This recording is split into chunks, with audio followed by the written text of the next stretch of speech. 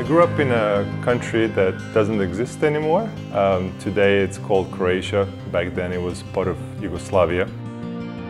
Well, my early childhood was very idyllic.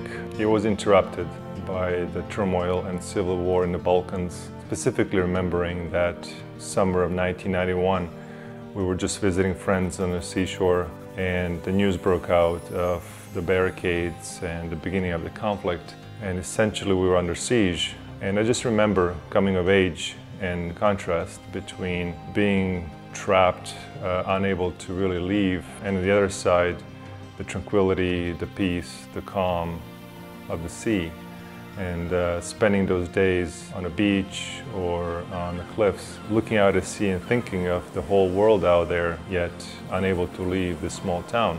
It made me really feel like I was not alone, that even though this conflict was raging, that there was hope you know, there was a whole world out there and that one way or the other, things would be okay in the end. As I finished my graduate studies, I bought myself a gift of access to the sailing club and that was an opportunity to reconnect with the sea. I spent some time cruising throughout the Caribbean, getting to know people, these uh, coastal communities, and, and making some very dear friends. I was deeply affected by hurricanes that had impacted them, specifically Irma and Maria. They lost their homes, their businesses, their boats, everything that they had. And so I was trying to send them some care packages of things that they told me was much needed. And that made me really realize how inadequate that was and how little only one person could do. And that was the time when I met uh, Mark Drewelow and founder of YachtAid Global, when I was asking what else could we do to help out. He shared about YachtAid Global and the yachting community participating in efforts like this. Within two weeks, we had over 100 super yachts reaching out from across Europe, North America, even South Pacific, who would be arriving to Caribbean saying what can be done, what can they do. And that made me really realize that more intentional and strategic engagement will be needed.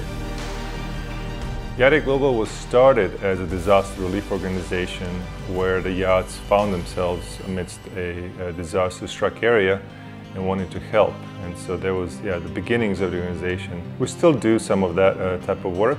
However, the mission has expanded uh, and includes now a number of humanitarian and conservation initiatives. On the humanitarian front, uh, we do clean water access across remote communities um, more than 2 billion people in the world today still lack access to clean water, and that includes some of these remote communities. Also, Build Back Better programs as part of recovery and rebuilding, working with the communities to support them on building more hurricane resilient structures and thus being able to withstand future weather events. And also as part of that, we are now really uh, focusing on more climate change adaptation, doing full reallocations of some of the communities because of the rising sea levels and thus being uh, able to be there for them, with them, so they can be uh, maintaining, sustaining their way of life. Educational programs that are focused on providing learning, teaching supplies for schools, expanding schools, adding classrooms, libraries, uh, both from supplies as well as opening up uh, some new libraries. YachtAid Global has, from the beginning, now more than 17 years ago, been a super yacht community organization. We exist because the community wants us to exist, needs us to exist, and we could never do what we do without the direct participation and support from the community.